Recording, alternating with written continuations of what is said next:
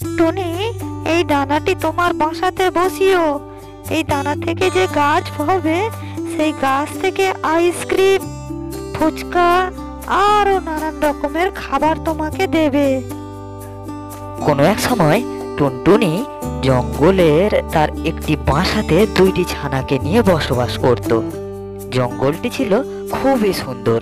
তারা মনের আনন্দে সেখানে বসবাস করত। একদিন টুনটুনি তার দুইটি ছানাকে নিয়ে উড়ে জঙ্গলের দিকে যাচ্ছিল। জঙ্গলের দিকে উড়ে যেতে যেতে তারা দেখতে পেল জঙ্গলের পাশে একটি গ্রামে মেলা বসেছে। মেলাতে নানান রকমের দোকানপাট, অনেক লোকজন। আকাশপথে উড়ে যেতে যেতে টুনটুনির ছানা দুইটির লক্ষ্য গেল একটি আইসক্রিম দোকানের উপরে। তখন টুনটুনির একটি ছানা তাকে বলল, মা মা, আমরা কোনোদিন আইসক্রিম খাইনি। আমাদের খুব ইচ্ছা হচ্ছে একটু আইসক্রিম খেতে।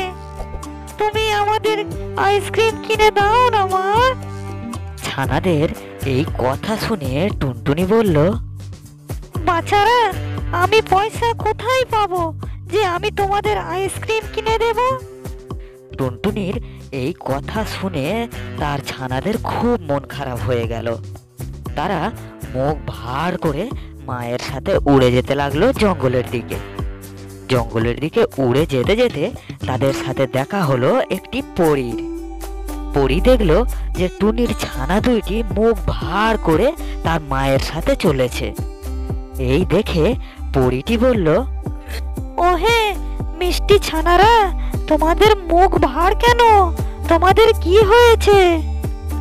এই কথা শুনে টুনটুনি পরিটিকে বলল দেখো না দিদি ওদের শখ হয়েছে ওরা আইসক্রিম খাবে কিন্তু আমার কাছে তো কোনো পয়সা নেই আর আমি ওদের তাহলে আইসক্রিম কি করে কিনে দিতে পারি? এই কথা শুনে পরি তখন টুনটুনিকে বলল এই খুশির জঙ্গলে কেউ অখুশি থাকবে না। কারোর মনে কোনো দুঃখ থাকবে না। টুনটুনি, এই দানাটি নিয়ে যাও। তোমার বাসাতে এটাকে পুঁতো। এর থেকে যে গাছ হবে, সেই গাছ আইসক্রিম, ফুচকা সহ আরও নানান ধরনের খাবার তোমাদেরকে দেবে। তাহলে তোমাদের ছানাদের মনে আর কোনো দুঃখ থাকবে না। এরপরে পরীটি তাদের থেকে বিদায় নিল। টুনি তার ছানাদেরকে নিয়ে বাসায় ফিরল। বাসায় ফিরে সেই দানাটি বাসাতে পোতা মাত্রই সেখান দিয়ে একটা গাছ জন্ম নিল। সেই গাছটিতে আইসক্রিম, ফুচকা সহ নানান ধরনের খাবার ঝুলে রয়েছে। এরপরে টুনি এবং তার ছানা সেই সমস্ত খাবার মনের আনন্দে খেতে লাগল এবং সুখে আনন্দের সাথে দিন কাটাতে লাগল।